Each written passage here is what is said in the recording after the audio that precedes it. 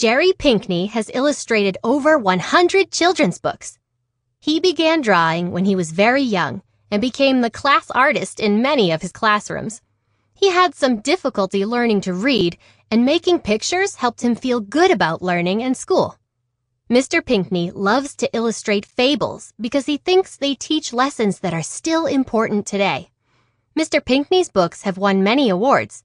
He won the Caldecott Medal for The Lion and the Mouse. This book is his version of one of his favorite fables.